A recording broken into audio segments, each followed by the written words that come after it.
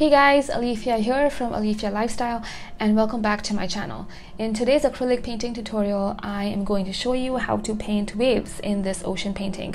It may look a little complicated, but I will take you step by step and show you how you can paint this beach sunset seascape.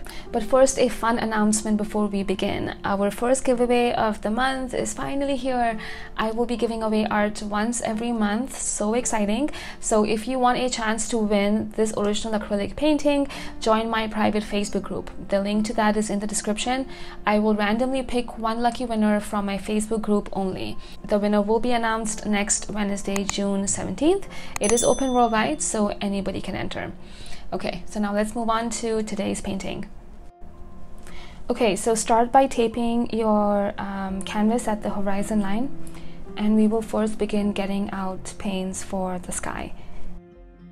Let's start by mixing the Payne's gray, uh, the peach and the white, which will go at the very top.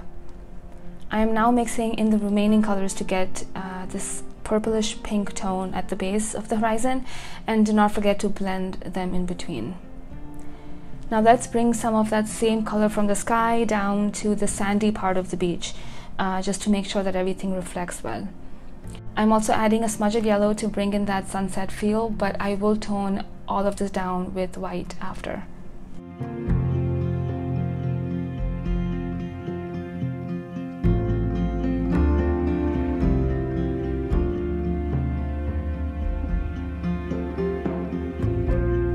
Alright, let's take a break from the sky. We will come back to it in a bit. Moving on to the ocean, I am using turquoise, emerald green, phthalo blue, and ultramarine blue. Follow the horizon line with phthalo blue.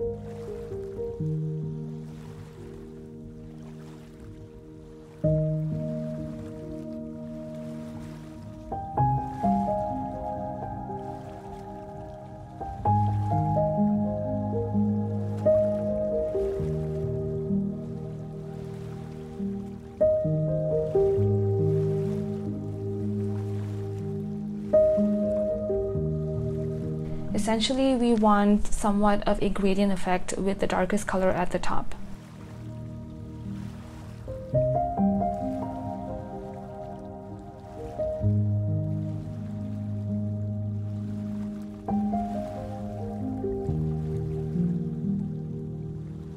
as we move closer to the beach, we want this brownish green tone to the ocean. So mixing some raw sienna and um, you know, some of that greens and the white will give you just that.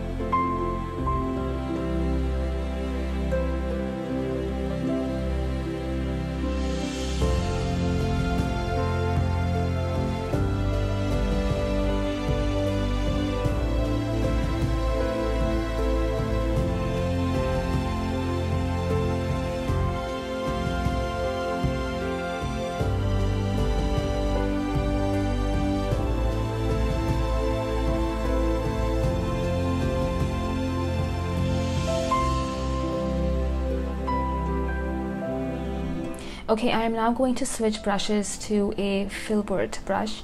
Super, super handy. Would totally recommend this if you don't have it. We are now working our way towards the waves, but first we will start with the shadow part of the wave. So I am mixing a tiny bit of phthalo blue, lots of white, a smudge of green and just a little bit of pink as well. I'm basically outlining the shape of the wave first. You kind of want to dot your way through this, don't just make a rigid line.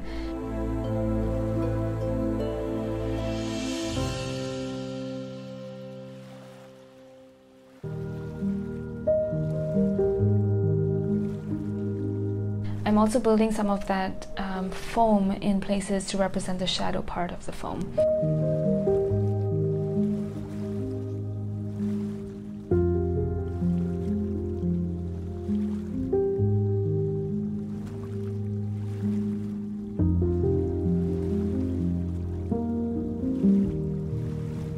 When it comes to the seafoam bits that happen near the shoreline, there's no better way for me to explain how to do this than just simply going in zigzag or like crisscross motions. Using a reference photo for this uh, section can be extremely handy as well. Now you can be as detailed as you would like uh, to be in this section. Personally, I'm not one for too many details when it comes to uh, painting in general, but you can go to town with this if you'd like. Um, it's just really personal preference and the style you choose to paint in.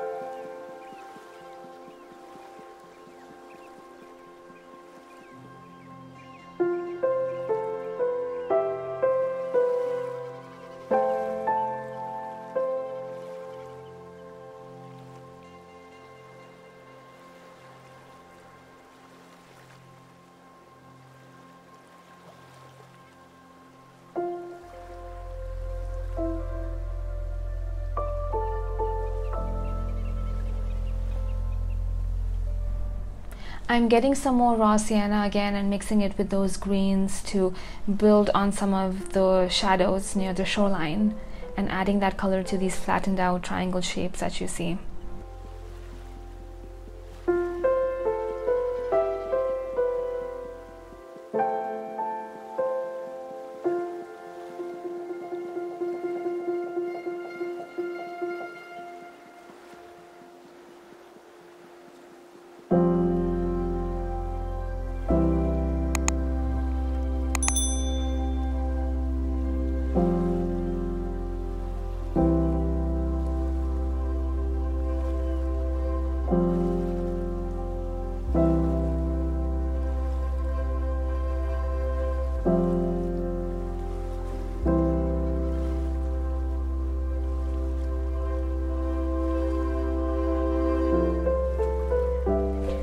Adding some pink and yellow to the green that we already have uh, will give you a nice mid-tone color for the base highlights.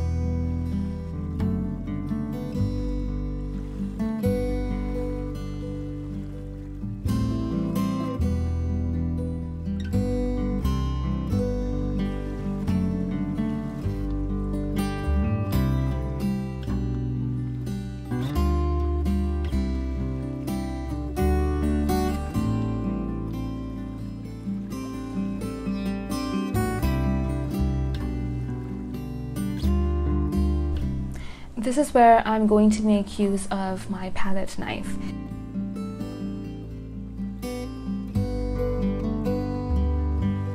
Using the side of the knife, I am simply dabbing lightly on the canvas to give that far away uh, reflection highlight.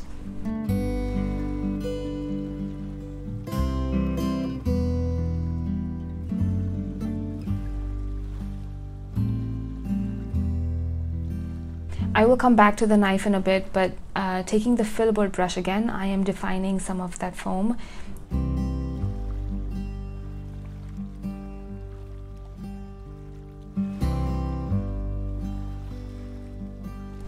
Here's the trick, taking any rough brush you have, lightly scrub the foam you made. This will help uh, blur out some of that foam which uh, will appear in the background.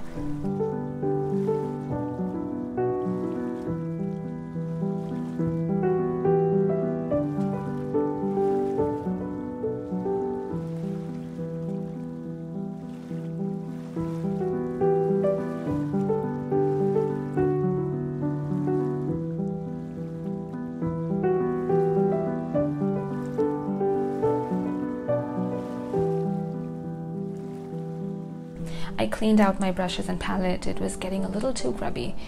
Alright, so going back to the waves here, I am now defining the underneath shadow part of the wave slightly before we give our painting final highlights.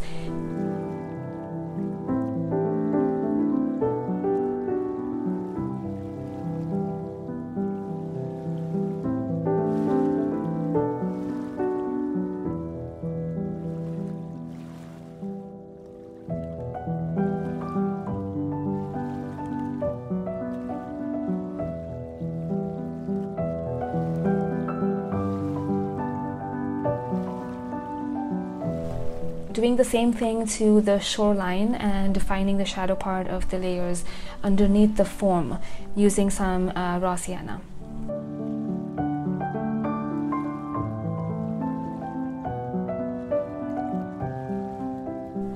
Since we are nearing the end here, I will be using pure white to highlight bits and pieces. Now this step is important so make sure you do not lather on too much paint directly with your palette knife. Take some paint on the back of your knife and dab it gently to the canvas while going in circular motions. You want to make sure that you do not take away uh, all the background shadow that we made earlier.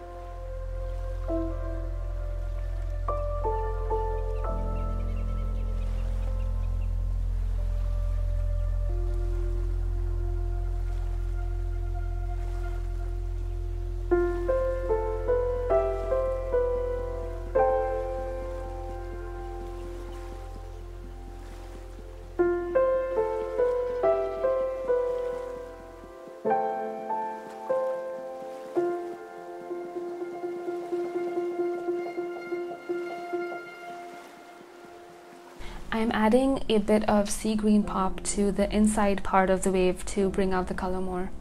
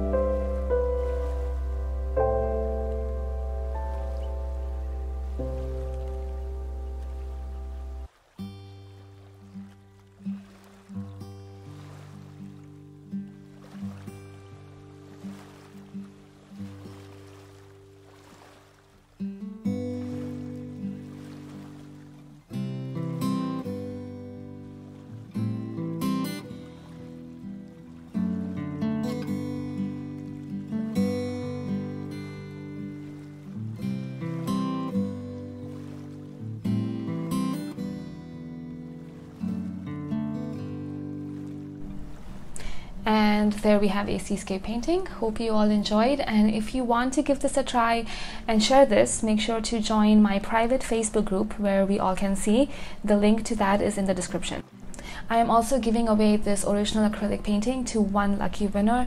Again, this will be held in my Facebook group and will happen on a monthly basis. So if you are interested, join the group to have a chance to win. The giveaway will end next Wednesday, June 17th. Thank you all so much for watching and we'll catch you next week. Bye guys.